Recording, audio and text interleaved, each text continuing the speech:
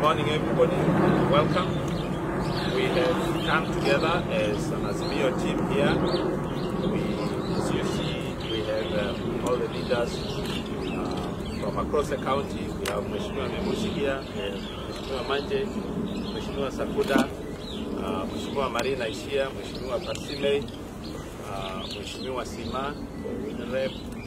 We, we also have, um, I think, uh, uh, Simel coming uh, very soon. Um, who have I not?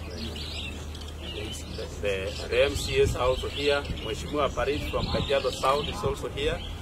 Uh, and we are happy to, to say that we have come as a team to first of all thank the electorate and the citizens of Kajiado County for showing trust in us as the team Azimio.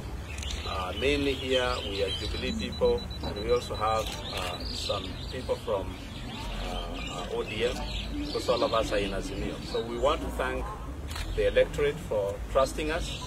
We know that um, the whole county is yearning for a break and a different uh, leadership because uh, the services that we were providing in the past have actually dwindled. Others have not been in existence at all. And that is why we have come here to say that Mwananchi should not worry. We are three months from the election time. We want to assure them that this is a strong team. This is a team that needs all their support on the ground.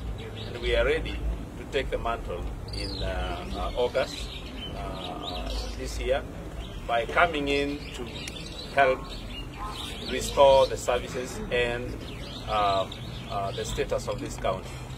We know that uh, our competitors are out there and they have been talking a lot about personalities. We don't want to talk about personalities. We want to talk about services to the people. That is the business of government. The business of government is not to talk about person X, Y, Z.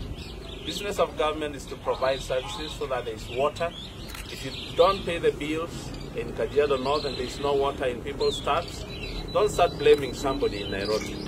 If you are the governor, the buck stops at your door.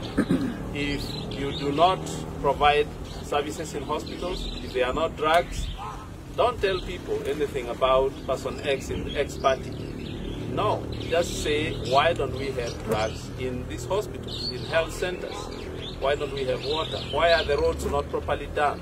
You know, that is the role of government. And we are here as a serious team that understands how government works, and we are focused. And we don't want to be derailed by people who will start talking about personalities because they are looking for excuses for not providing services to the people of Kajiado County.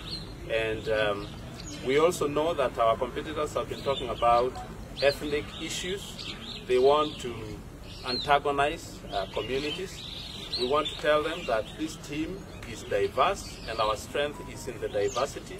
We have MCAs from different communities, like here in um, Kaimurunya, we have uh, Maranga, who is vying on our Jubilee ticket. We also have Moha um, from the Somali community is vying on our Jubilee ticket, and many others.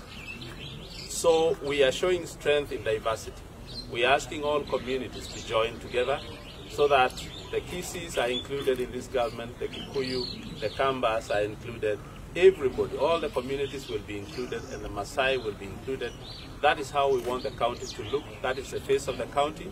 We promise to work with all communities to make sure that our county is back to its status. The lost glory is what we want to restore in this county.